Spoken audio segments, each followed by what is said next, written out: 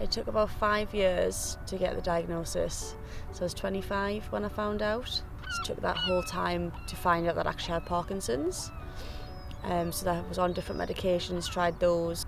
Um, and I went into a bit of denial to start with and just carried on life as normal. Very confusing because I'm obviously young, so I didn't understand how I could have got it that young. That was the weirdest part. Think that's why at first I didn't process it because it was just such a shock to be told at that age, oh, actually, you've got this disease, but everything you know about it normally, it's, it's for older people.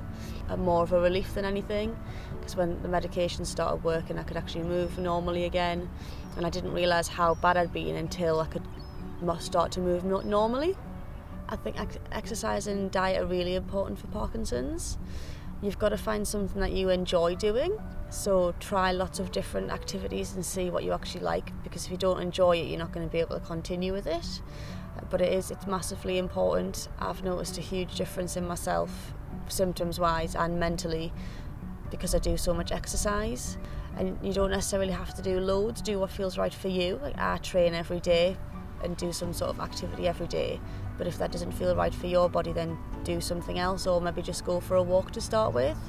Because although it's horrible to get a Parkinson's diagnosis, it might feel like the end of the world, but it's not. I just have like a little friend that's sometimes not my friend that sits on my shoulder, and I just have to carry on as normal with that and not let it get me down. Try and find a positive in every day and think of something. If you have one less symptom in one day, hold on to that for the rest of the week be positive and then you'll, you'll naturally start to get better anyway because your mind will change.